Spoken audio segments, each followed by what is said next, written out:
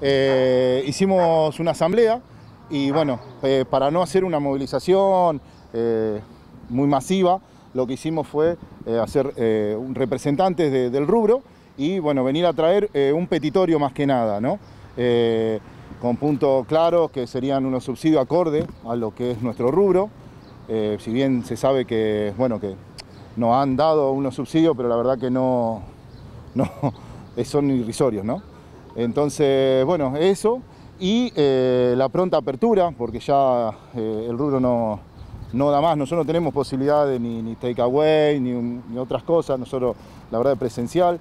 Eh, la pronta apertura con los protocolos y a seguir trabajando conjunto a la municipalidad con, con, los protocolos que venimos haciendo, que venimos llevando a cabo. y bueno, y también el, no, no un cierre otra vez, ¿no? porque la verdad que si abrimos ahora y, en un par de días volvemos a cerrar, estamos, estamos otra vez en lo mismo.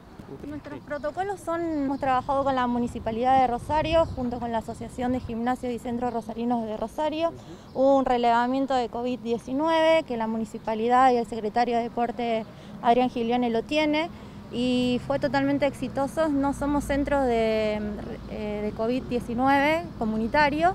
Em, y desde los gimnasios que nucleamos con la asociación, todos están comprometidos con el protocolo y se hemos trabajado muy bien.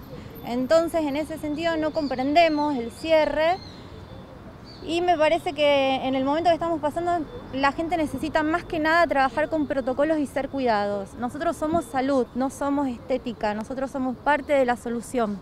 Posterior vamos a ir a esta gobernación donde vamos a entregar petitorios.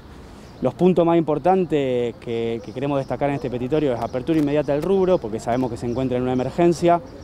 Eh, queremos también un subsidio acorde a la situación que estamos viviendo y no el que se ofreció desde gobernación. ¿El de 30 mil pesos? El de 30 mil pesos, pensamos que ha sido realmente una burla al sector, una burla porque no, no alcanza a cubrir ni, ni el 10% de las facturaciones que tiene cualquiera de estos establecimientos.